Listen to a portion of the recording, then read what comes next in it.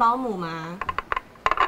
面对媒体从神隐变成躲避，家长把宝贝孩子送到保姆家托育，没想到意外昏迷。保姆做完笔录后，躲在家中不肯吐露只字片语。意外就发生在台北市木栅保姆家中，八个月大小男婴突然吐奶爆哭，四肢瘫软无力。家人从保姆家中紧急将孩子送医，却发现颅内出血，疑似受到外力介入，不排除遭虐。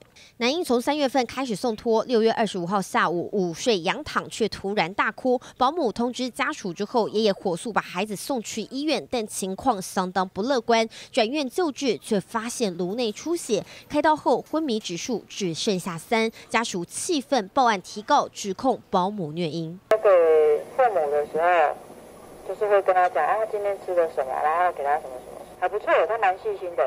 邻居们口中的好保姆是持有证照的合格保姆，却传出有虐婴可能，让人不敢置信。喂喂，你好，请问是谭保姆吗？哪里？呃，你好，我们这边是各家媒体。持续联系这名弹性保姆，一听到是媒体，立刻挂上电话。究竟是心虚，还是有什么不可告人的内情？就等检警调查厘清，是否业务过失夺走八个月大男婴的小小生命。记者杨忠善和魏荣台语报道。